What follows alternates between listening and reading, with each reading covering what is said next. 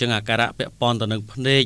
គឺនឹងអាចដោះស្រាយជូនបានហើយមិនថាតែភ្នែកស្រវាំងព្រិលពព្រាកបែកផ្សែងឬក៏ភ្នែកដែលមានការឡើងក្រហមបាទភ្នែកខ្លះក៏ត្រូវកម្ដៅត្រូវពន្លឺខ្លាំងធូលីហុយចូលអីផងនោះអាចទៅជាការប៉ះពាល់គឺរលាកភ្នែកភ្នែកខ្លះគឺក្តៅស្ងួតក្រហាយនិងភ្នែកដែល ឧស្សាហ៍តែចុករយខ្លាំងភ្នែកខ្លះក៏ចុកចុកដូចកញ្ចាក់រយភ្នែកបើកមិនចង់រួចអឺភ្នែកក្តៅស្ងួតហើយត្របកភ្នែករឹងអីជាដើមពិបាកក្នុងការមើល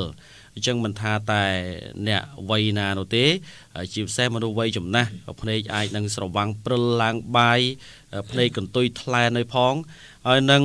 ជាងដែកជាងតងជាងទូរស័ព្ទអីហ្នឹងគឺច្រើនតែប្រឹងសម្លឹងមានការ ហត់នឿយនឹងភ្នែកនេះច្រើន អាចប្រើនៅឱសថទឹក Q Nano X បាទឱសថនេះគឺយើងនឹងបន្តក់ទៅភ្នែករបស់យើង ដើម្បីនឹងលាងសម្អាតភាពកខ្វក់ចេញ ហើយក៏នឹងជួយស្អំជួយព្យាបាលភ្នែកឲ្យបាននៅភាពត្រជាក់និងជាសះស្បើយហើយក៏ភ្លឺច្បាស់ស្រឡះល្អ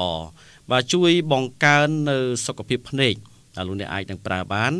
នៅឱសថទឹកនេះ ដែលមានលក់នៅស្ថានីយ៍វិទ្យុខេមរាខេត្តបាត់ដំបងស្ថិតនៅក្បែរខាងលិចសាលមហោស្រពស្ទឹងសង្កែ